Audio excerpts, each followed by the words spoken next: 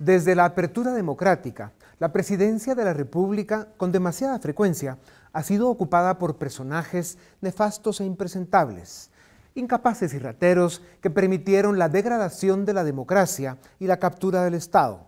Y su legado se resume en dos palabras, pobreza y corrupción.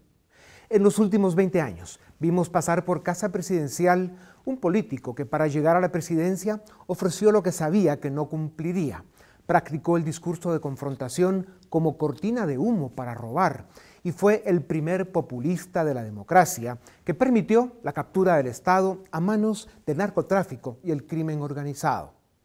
Después de un paréntesis, vimos llegar a la presidencia a un borrachín inútil y cobarde, a quien su mujer lo escogió porque ella quería gobernar para llevar a Guatemala al chavismo totalitario la devastación política e institucional se multiplicó. Luego llegó a la presidencia un general a quien su incompetencia lo llevó a una locura criminal que le hará pasar el resto de su vida en la cárcel. Y del presidente que va de salida, el pueblo y la historia tendrán mucho que decir, además de que el saldo negativo siguió creciendo, las oportunidades perdidas y las obligaciones incumplidas lloran sangre. Traicionar a su pueblo como lo hicieron estos políticos es un crimen imperdonable. Ser presidente, además de un gran honor, es la máxima responsabilidad a la que puede acceder un ciudadano. Guatemala recibe el 2020 con un nuevo presidente que está consciente del compromiso de Estado que asume y que sabe que la nación guatemalteca y su democracia no soportan un fracaso más. Guatemala sufre un subdesarrollo político crónico, lacerante y vergonzoso, cuyo máximo exponente se encuentra en el Congreso de los Diputados, pues es allí donde están quienes han hecho de la política un instrumento criminal y del Estado un antro de delincuentes. El 2020 también nos recibe con un nuevo Congreso. Veremos si los nuevos diputados son capaces devolver brillo al Parlamento y prestigio a la política para estar a la altura de las circunstancias que hoy les demanda la historia.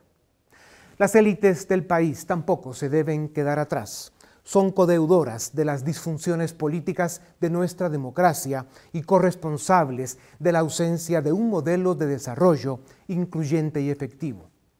La democracia, el modelo político menos imperfecto conocido, para ser exitoso necesita como fundamento la libertad y como marco el Estado de Derecho. Cortes independientes formadas por los juristas más respetables y respetados del país, un Congreso de Diputados con visión de Estado y practicantes del decoro y la honradez, y un presidente capaz, honesto y estadista, son las condiciones que dan vida, vigor y garantías a la democracia republicana. Justicia pronta y cumplida, igualdad ante la ley, respeto a la libertad de expresión y a la propiedad privada, y la certeza jurídica para la inversión son los valores que permiten la convivencia en sociedad y dan oportunidad a los pueblos para luchar por su desarrollo y bienestar. Guatemala enfrenta desafíos extraordinarios que demandan esfuerzos, soluciones y compromisos extraordinarios. Para triunfar en la vida, además de ser responsables y laboriosos, debemos ser consecuentes. No se puede arar en el agua si queremos sembrar maíz. Ser consecuentes en la Guatemala de hoy quiere decir hacer las reformas que el Estado necesita, ser intolerantes con la incompetencia y la corrupción, aliviar los graves problemas sociales y subir la mirada para encontrar el desarrollo de nuestro país en un horizonte de unidad, optimismo, creatividad, transparencia, compromiso, honor e integridad.